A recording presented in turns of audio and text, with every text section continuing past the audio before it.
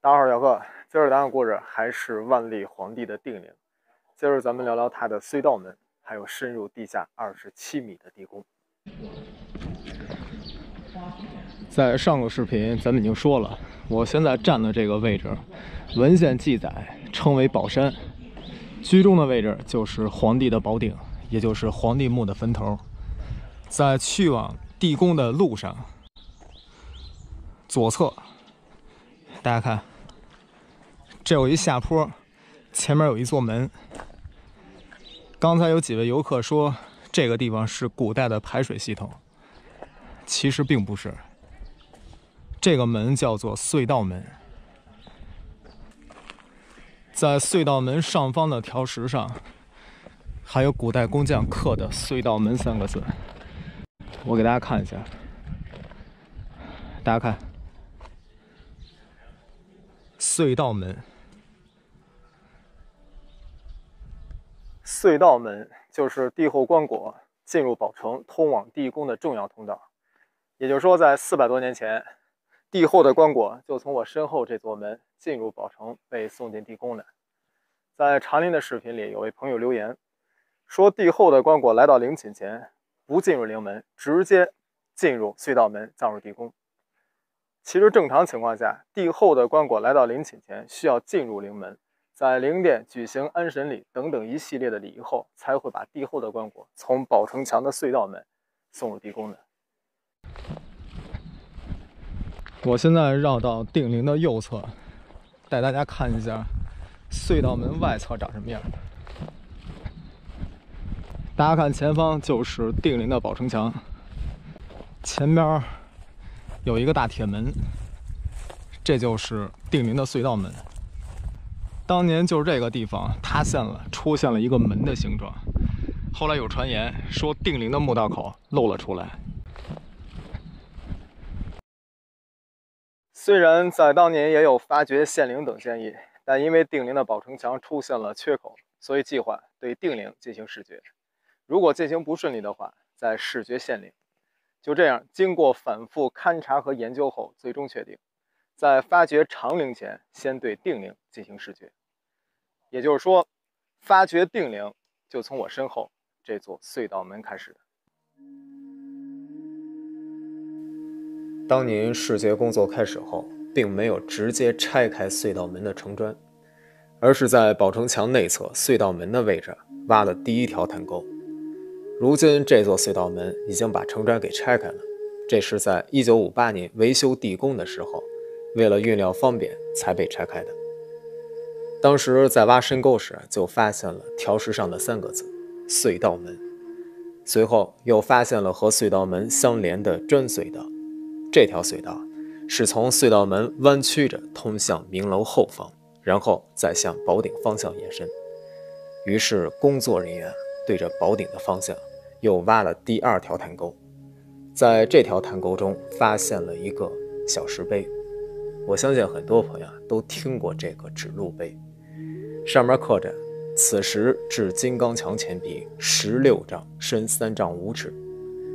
这就直接告诉了地宫的位置。聊到这儿，多数朋友会有个疑问：当年工匠们为什么会放一个指路碑呢？这是因为啊，定陵是万历皇帝生前营建的，建成后为了防止雨水进入地宫内，所以必须要用土填实封死。放一个指路碑，就是为了帝后棺椁下葬的时候开挖隧道方便。聊到这儿，有朋友还会问：皇帝下葬地宫后，那为什么不把小石碑拿走呢？因为明朝没有遵循碑不动尊，比如明英宗葬入地宫后，前皇后和周皇后去世后，还会开启地宫大门再葬进去，所以就算皇帝棺椁下葬地宫，这个指路碑啊，还是被埋在土中的。接下来，我带大家，咱们进入万历皇帝的地宫。他这座地宫的规模非常大，定陵是所有明帝陵中唯一开放地宫的帝陵。我第一次下地宫来的就是万历皇帝的定陵，那个时候是一九九九年，在那个时候游客就特别的多。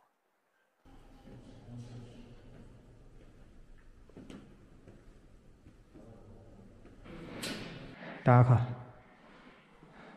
这下面有多深？万历皇帝的地宫深入地下二十七米，这可比清帝陵的地宫要深太多了。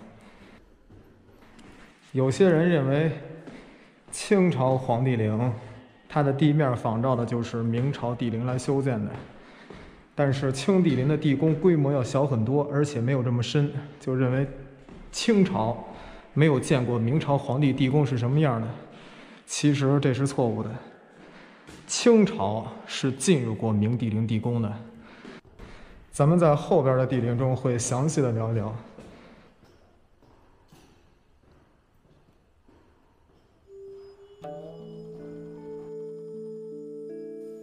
万历皇帝的地宫是由前殿、中殿、后殿、左配殿和右配殿组成。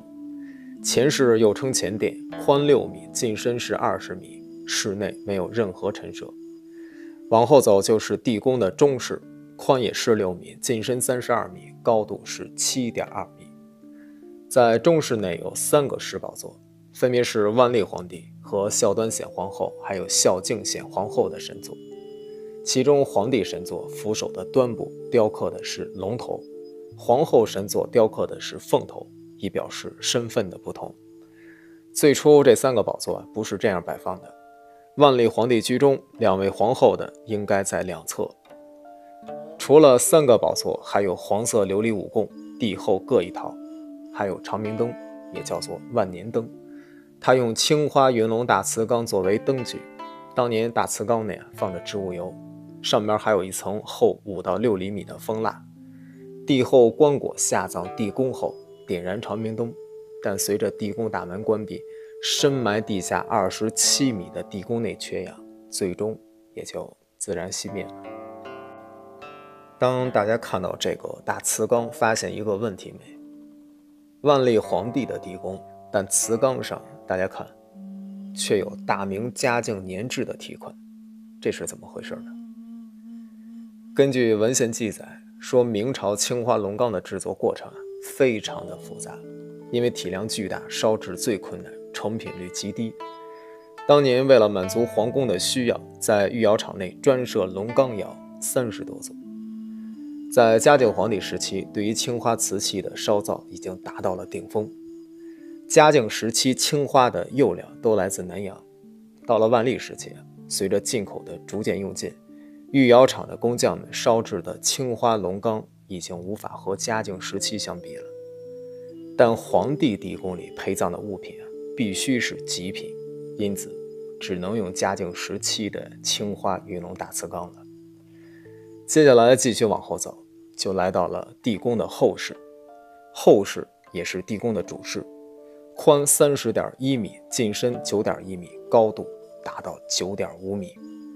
这座殿内啊，里侧居中的位置有一座棺床，也称为宝床，就是摆放帝后棺椁的地方。大家看我身后，居中的就是万历皇帝的棺椁，左侧是孝端显皇后的棺椁，右侧是孝敬显皇后的棺椁。右侧这位墓主人就是明光宗朱常洛的生母。万历皇帝万万不会想到，他自己最不喜欢的女人葬在他的身边，而他最喜欢的郑贵妃却没有进入定陵地宫。关于这段故事，咱们在探访郑贵妃墓的视频里已经聊过了，感兴趣的朋友可以去看一下。现在这些帝后的棺椁还有随葬品的木箱子，这都是复制品，也就是说，棺椁里是没有帝后尸骨。关于孝敬显皇后，在后边的视频里，咱们会详细的聊聊。在万历皇帝的棺椁下还有一个方孔，这就是金井。说是井，但里边没有水啊，全是黄土。金井简单的说，就是连接地气、生气交流的地方。这是整座地陵最重要的地方。我相信大家听过一句话，就是“三年寻龙，十年点穴”。这里边说的穴就是金井。在帝后棺椁周围还有一些这样的石头，很多朋友都没有注意到，这是璞玉，就是没有雕琢的玉。金井。和璞玉合在一起，就是金井玉葬。古人认为啊，金井可以沟通阴阳、交流生气，玉葬能够保持墓主人不腐烂。金井玉葬就是明清时期最高等级的葬礼。在地宫中殿的两侧还各有一门，可以通往左右配殿，面宽各二十六米，进深各七米，顶高七点四米。咱们从地宫下来，就是地宫的左配殿，右配殿没有开放，内部啊和左配殿是一样的。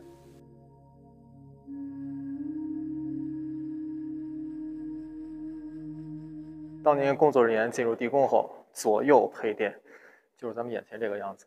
棺床上是没有棺椁的，也说万历皇帝的地宫左右配殿是空的，这到底是怎么回事呢？